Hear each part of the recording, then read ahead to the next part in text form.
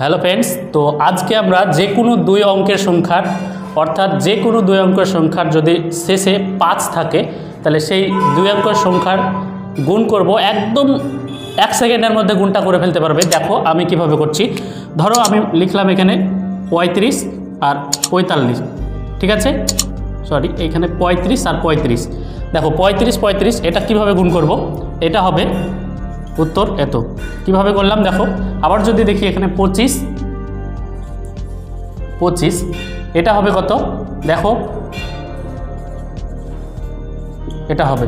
তো কীভাবে করছি? এগুলো একদম শর্টকাট পদ্ধতিতে, অর্থাৎ যে কোনো সংখ্যার বর্গ, এক কথায় বলা যায় যে কোনো সংখ্যার বর্গ যেটা শেষে পাঁচ থাকবে, সেটা আমরা খুব সহজে করব। তো কীভাবে করছি? এটা একটা ট্রিক্স আছে। তো ট্রিক্সটা কি? দেখো, আমি এখানে লিখলাম যে পঁচাত্তর এর বর্গ, অর্থাৎ পঁচাত্তরের স্কোয়ার মানে পঁচাত্তরকে পঁচাত্তর দিয়ে গুণ, ঠিক আছে?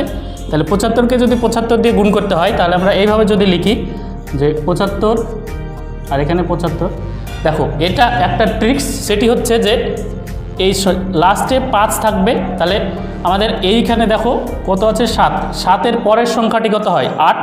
তাহলে আট আর এই সাত, গুণ করো, সাতাশটি ছাপান্ন।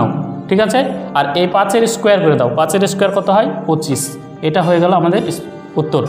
তাহলে বুঝতে পারছ?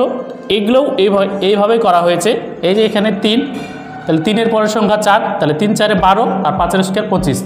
এটাও তাই, দুই, দুইয়ের পরের সংখ্যা তিন তিন দুগুণে ছয়, আর পাঁচের স্কোয়ার পঁচিশ। তাহলে বুঝতে পারলে যে যে কোনো সংখ্যা যেটা লাস্টে পাঁচ থাকে, তার বর্গ করা খুব সহজ। একদম এইভাবে তোমরা করবে।